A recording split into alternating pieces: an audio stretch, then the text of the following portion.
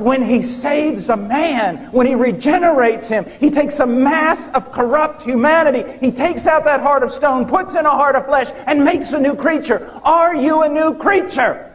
Don't talk to me about praying a prayer. Don't talk to me about church attendance. Don't talk to me about some collegiate Baptist group.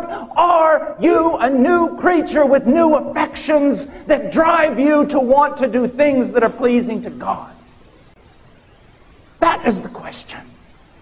Are you filled with sensuality, carnality? I sometimes get on my, I do a Twitter thing in which I put just truths about the gospel. And sometimes I look at the people following me on Twitter. And they're, they're dressed in such a way I can't even look at their picture. They say things I can't even believe. This is evangelicalism today. Sensual, carnal, unconverted people that have just enough deceptive religion to drive them straight into hell. Are you that kind of person?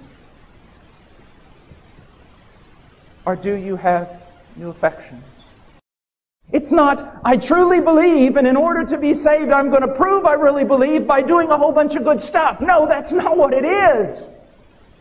I truly believe because my eyes have been opened and I see Christ, but my heart has also been transformed so to have righteous affections. And when I look on the perfect righteousness of Christ, I'm irresistibly drawn to Him. I want Him. I must have Him. And when in my foolishness and in my flesh I turn away from Him, I hate myself.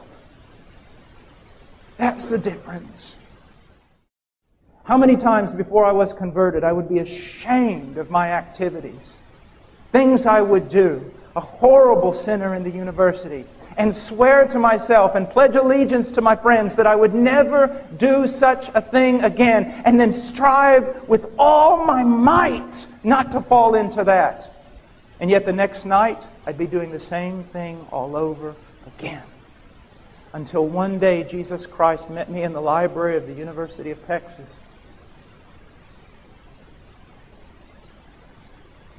and I was converted. I was regenerated. You have fruit and works because of what you are a new creature. He says, You believe God is one? You believe in the Shema? Hear, O Israel, the Lord our God is one? You believe that? Great. Demons believe it. And they give a more proper response than you do. At least they tremble when they hear it. You believe in Jesus? Yes, so do the demons. You think Jesus is Savior? So do the demons. You think Jesus is Lord? So do the demons. But their piety far exceeds yours because they tremble when they hear that. It comes out of your mouth like it was something from the Disney Channel.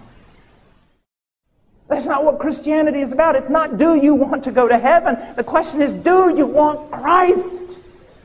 How do I know that your heart has been regenerated? You want Christ. You want Him. You want to know Him. And you hate it when your heart grows dull.